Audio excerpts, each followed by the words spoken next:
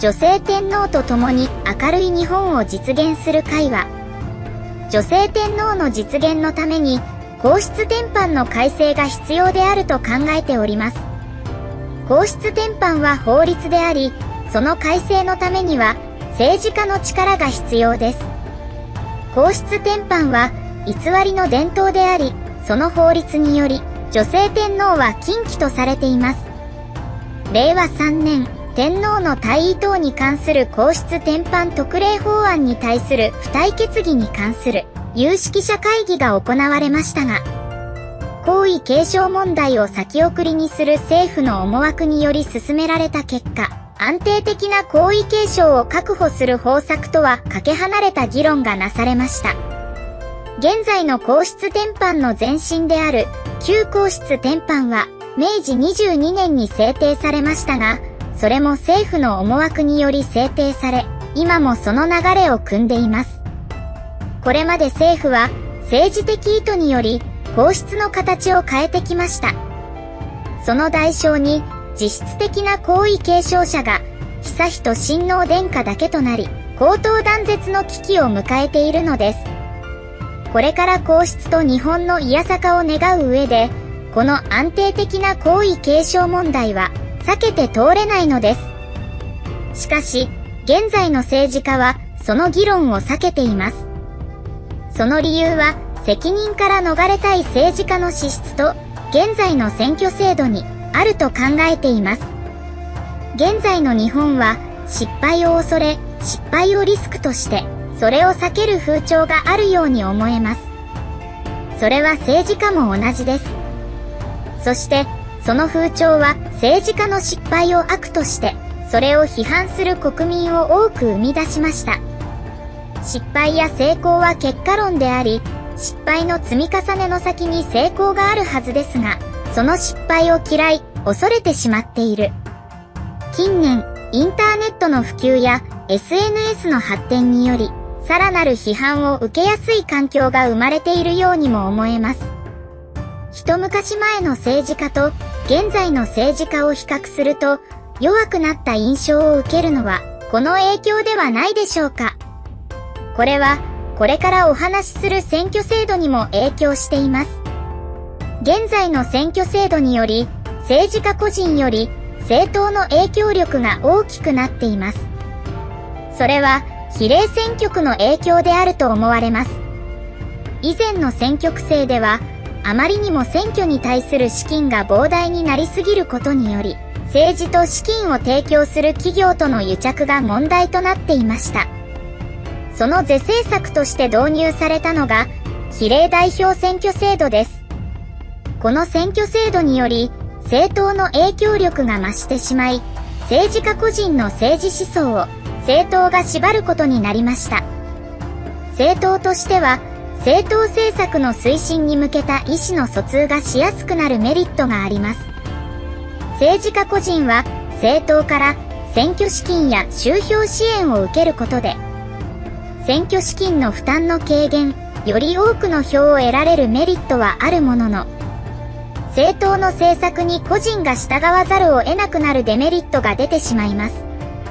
このデメリットこそ、現在の政治不信や政治の暴走を引き起こしているように思えます。では、皇室典範改正議論と、この選挙がどう結びつくのかというと、皇室典範改正を望む声は、総国民数から考えるとごく一部となります。多くの国民は、長く続いた悪性により、自身の生活維持に考えることの重きを置いている状況です。日本国家の根本でもある皇室の危機においても、残念ながら多くの国民が皇室は直接の生活に影響ないと考えているのです。それどころではない、それほど生活が逼迫し、深刻化しているということであると思います。この状況の中で政治家が皇室に対する政策を打ち出したところで、その重要性に気づけない国民が増えてしまいました。政治家は政党の政策を推進するにあたり、政治家個人が政治生命を流らえることが推進力となるため、常に選挙を念頭に置いて、政治活動を行っています。政治家の選挙戦は当選後すぐに始まるのです。そのため国民の関心を集められない、つまり集票につながりにくい政策は彼らにとってとても取り組みにくいものと言えます。それでも個人の信念により取り組む意思があったとしても当然集票に結びつきにくい政治活動を政党が認めるはずもありません。政党から様々な支援を受けている政治家は政党から支援を受け続けるために政党の方向性に従う必要があります。現在の衆議院議員465名のうち、比例代表選挙で選出された議員は176名となっています。3分の1以上の議員が政党から議席を与えられた議員です。彼らにとって政党の方向性はさらに重要になります。また、少ないと言っても一定数皇室を敬愛する国民は存在します。その国民にとって皇室存続はとても重要な問題です。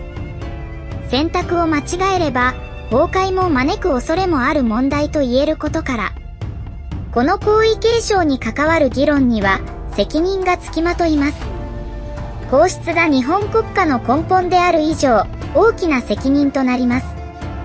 当然、様々な考え方がある中で、大きな批判を受けやすい議論になります。生活に関する問題は、批判があるとして避けて通ることができませんが、できることなら余計な批判を浴びたくない、選挙戦に悪影響を与えたくないと考えるのが、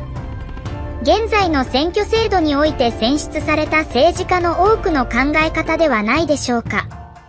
政治家が議論を避けて、議論自体を聖域としている背景から、それらの責任から逃れたいとの思いがあるのかもしれません。現在、女性天皇と共に明るい日本を実現する会が、問題視している皇位継承問題における皇室存続の危機、そして、その他の皇室に関する問題。それらを取り巻く政治環境は、すべての日本の問題に共通しています。議論をしない政治家たち。責任から逃れる政治家たち。その者たちにより行われる政治は、国民を苦しめ、国体と言える皇室をも崩壊へ導いています。皇室問題とは、日本の抱える問題の縮図であり、本質なのです。皇室は、一般国民に直接関係のない話ではなく、むしろ問題を引き起こし、悪化させているのが政治であり、すべての原因はつながっています。女性天皇と共に明るい日本を実現する会の目指す皇室典範改正は、それらの大きな壁に立ち向かうことなのです。一人の国民としては、あまりにも大きな壁です。だからこそ、皆様のお力が必要なのです。政治家は、私たち国民が選挙で選出します。私たちにできることは、政治家の本質を見極めた上で、政党に頼ることなく戦える、強い政治家を選出することなのです。皇室典範改正と政治問題への追及。表面的には関係のない話として考える方も多いでしょう。しかし、本質的には同じなのです。そのことを私たち国民が改めて認識し、声を上げ続けることが必要なのです。女性天皇と共に明るい日本を実現する会は、今後も女性天皇実現のために皇室典範の改正を目指し、政治に対して様々な働きかけを行っていきます。ぜひ、皆様のお力をお貸しください。